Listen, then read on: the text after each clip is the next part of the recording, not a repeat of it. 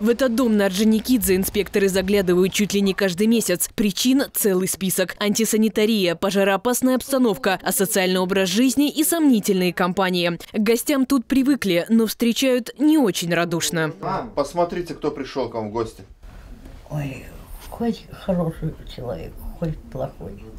Окурками усыпан пол, стол и кровать. Вместо ночной лампы свечи. Про электричество здесь давно забыли. Бутылки тоже часть местного декора, разбросанные по всей квартире. Потолок и вовсе держится на честном слове. Из общей картины выбивается лишь новенький извещатель над дверью. Зрелище не для слабонервных, но хозяев все устраивает. Мы отапливаемся, у нас печка все сделана. Ну, там немножко подремонтировать еще надо. Ну, ну все нормально. А не боитесь, что что-нибудь случится из-за сигареты?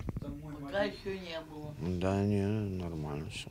На Можайского истории ничем не лучше. Пенсионерка в компании пьющего родственника. Алкогольные пристрастия женщину не волнуют, но сын не может найти работу. Увольняли уже трижды. Мужчина же настроен агрессивно. Виноваты все вокруг. Выгонять за пьянку. Не просто так, а за пьянку. Вот вспоминали пьяный, и шел на проходной, все. for voting.